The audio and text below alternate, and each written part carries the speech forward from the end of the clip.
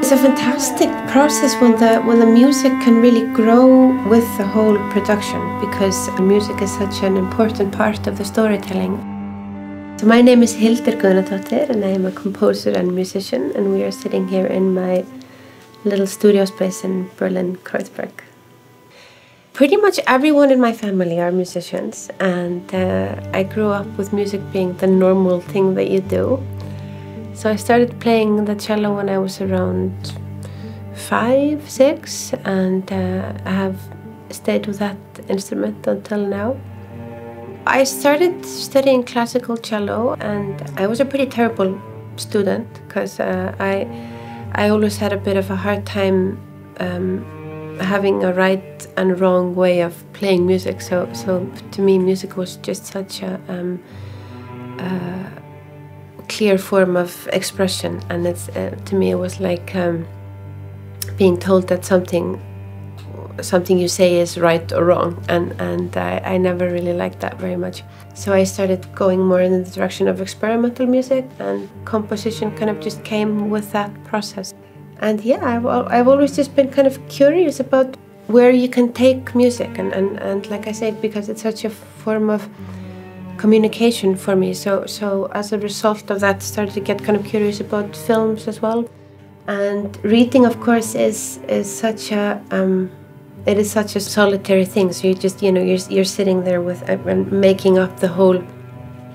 the whole scenario and the whole whole tempo of, of a script or a, or, or a book that you're reading and, and you have kind of you have like full control over like okay this is what I imagined like this feels like and, and uh, I think it's a really great place to to connect music to because that's that's at least to, to me like when I'm writing music by myself that's kind of exactly what happens. It's like you know I, I feel this when I this happens or um, you know this should be in this tempo or whatever. So so it was like a beautiful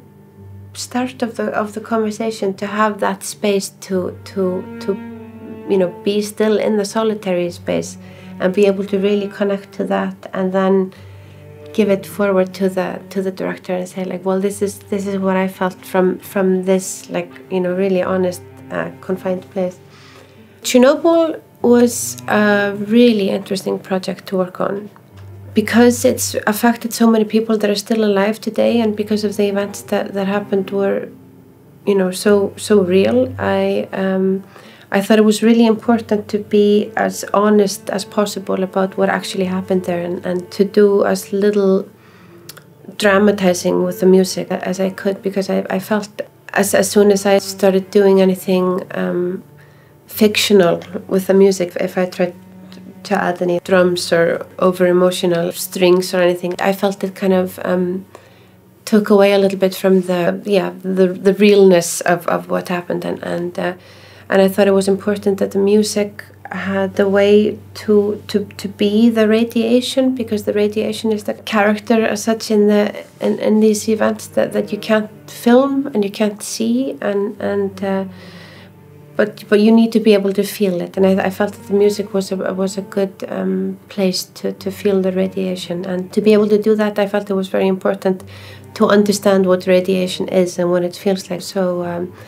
I went there with uh, my score producer Sam Slater and Chris Watson, who was a field recording expert, to uh, a power plant in Lithuania, to Ignalina, where the, a lot of the series is filmed. It was just a really, really fascinating uh, process, and it was a little bit like um, uh, like being on a treasure hunt because it's it's just so much material in the in there that you can record. And and uh, so many sounds that are are um, yeah just so fascinating. And uh,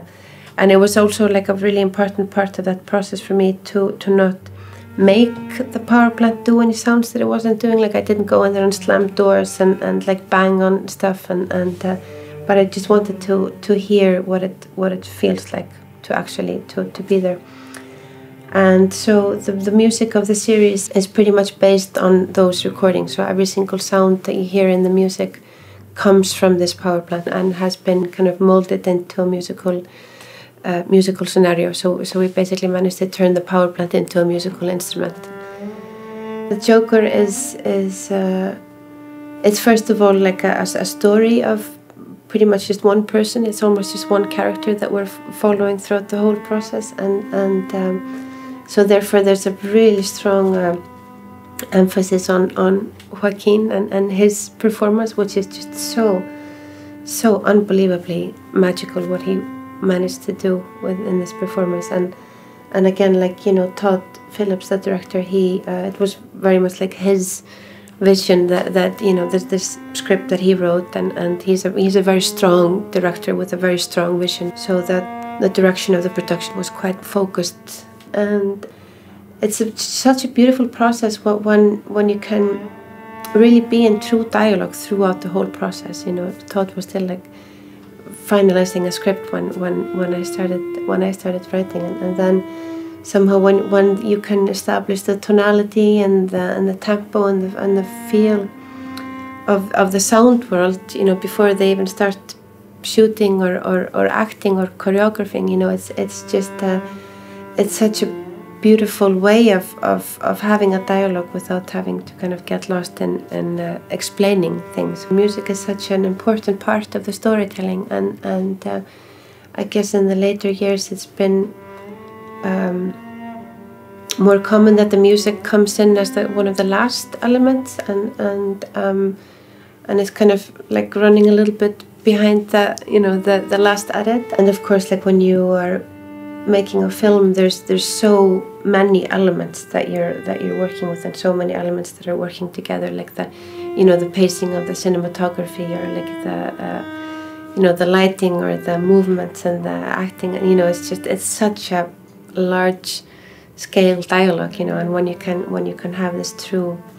true dialogue throughout that whole process, it just makes it a lot more fun because then you just feel like a bigger part of the whole the whole uh, whole process. And then as they started to um, send me scenes from from the uh, dailies, it's called when they like when they are, are, shooting something, and then they, they just sent me um, scene by scene before they even started putting anything together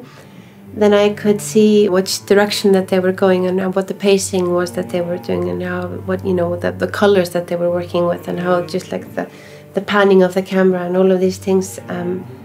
could then affect like the, the next step the steps that I took. So I started to uh, write more music as, as I you know started receiving dailies. And of course it was really inspiring for me to see how much the music was affecting the per performance and, and what they were doing on set. And and uh, so it just like was thrilling to continue um, for me to kind of you know get the ball back and start expanding my you know the, the sound world. And then uh,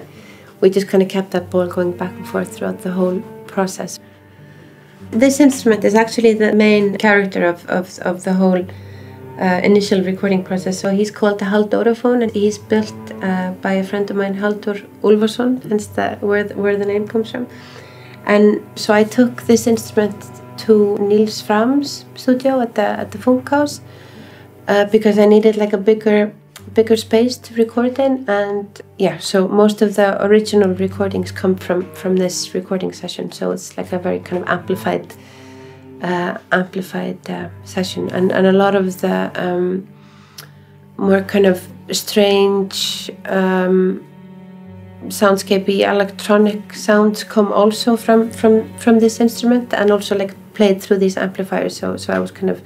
tampering with with the sound, but live. So they're all um, all the sounds that you hear in the film are performed live, like even in scenes where. Um, um, I guess most noticeably uh, when he goes into the fridge, if, if people remember that scene, it's this kind of like like weird sound that happens, and, and that's all played live on on this uh, uh, on this instrument a lot of the work that I do is kind of outside the grid, and it starts with with uh, just kind of being in a being in a flow and, and capturing recordings or capturing performances or capturing audio, uh, which which is never on a grid because I hate grids. And then I, I kind of I'm, I'm able to bring it into Cubase and then kind of build things around that performance. And I think Cubase is a is a really great place to. Uh, uh, um, do that without having to spend too much time on thinking like you know wait why is this channel not working or how do I bring this up? I think it's kind of it works pretty intuitively. I mean there's the first kind of a learning curve of course that you have to have with any new environment. And then after you have kind of the, the basic things that you need you can kind of flow pretty easily between between audio and MIDI and you know have a flow between both of them without having the feeling that you're going from a completely separate world to another you know it can all kind of work work together in one even in one window which I think is fantastic. You don't have to go between windows like in the new newer versions it's just like all all there in one in one place. And I think for me that works really well and I, I feel like both um,